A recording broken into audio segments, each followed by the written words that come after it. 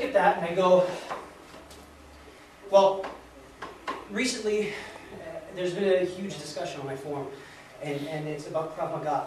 And the, the technique in question was literally this. Guy's at this distance, he's got the knife, and he's coming to stab you like so. And the defense mechanism to this was stepping back, and as he's coming in, front kick him in, in the jaw. And they teach this on their tapes. We have an issue with that. Some more than others. Those would be the form uh, MP is notorious. So, but the point is, is that no way. You can't. It's physically impossible. Think about it. The FBI and the CIA did tests that at 21 feet, you have a gun, I have a knife, I will gut you before you can put your gun out and shoot. So if at, you know, if at 21 feet, I'm going to gut you before you shoot me with your fucking gun, how is it that at 5 or 6 feet, you're going to throw a front before I gut you? Impossible. Physically impossible. Unless he's stoned, blind, stupid at the same time. Okay? I'm talking about the guy with the knife. So that would be he's stoned. and so if I'm here and I'm like, then maybe, but there's no fucking way in hell it's going to happen.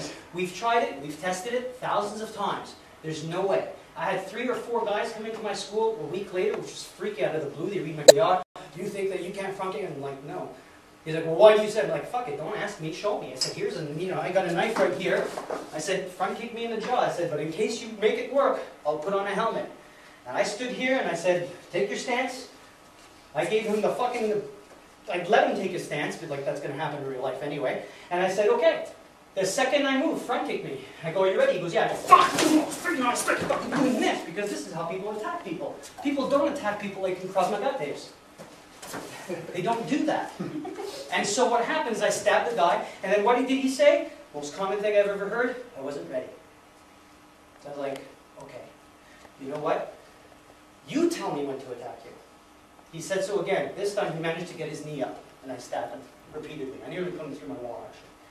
But it, okay, you know what I'm saying? Is that you got to understand logic has got to precede belief, and so you got to look at things and go, well, wait a minute now. That's not going to work. Why? Well, 21 feet, knife gun, six feet, a front kick. I don't think so.